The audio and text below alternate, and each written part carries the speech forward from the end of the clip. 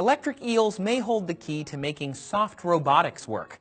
What are those, you ask? Well, they involve making technology that's similar to biological material, like we often find in nature and within ourselves.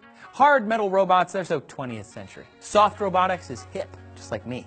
Soft robotics involves making technology that's similar to biological material, like the stuff that we would find out in nature and within ourselves. We want things that are like us soft, durable, waterproof.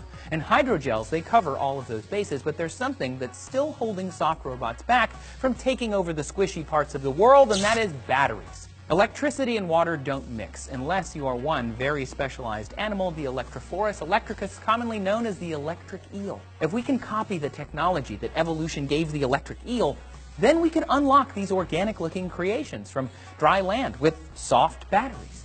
These strange long fish can generate electricity with an organ containing cells called electrocytes.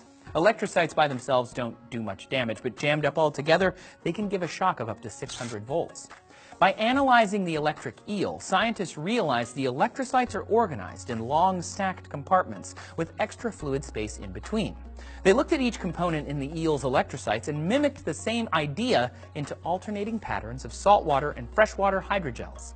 Saltwater has salt in it, obviously, meaning it's an electrolyte. Here, the red gels are filled with salt water and the blues are filled with fresh water. At the points where they touch, the negative ions from within the salt water flow toward the empty fresh water. But that's not actually enough to mimic the eel biology. The yellow and green gels on the separate sheet are filled with specialized fluid that don't just let the ions flow willy-nilly. Instead, the yellow gels only let negative ions through, while the green gels only let positive. And together, these colorful gels move the ions in a very specific direction, generating a voltage, and voila! Electricity from fluids, just like an eel. By copying this soft, squishy battery design, researchers hope to create soft, squishy robots that can be used as wearable technology or in other natural environments where traditional batteries could get damaged or just maybe be too dangerous. The thing is, you'll need a lot of these little cells to generate enough electricity to do much with. Right now, researchers can only generate 110 volts from their soft battery, but they're working on more, and I'm eel excited about it.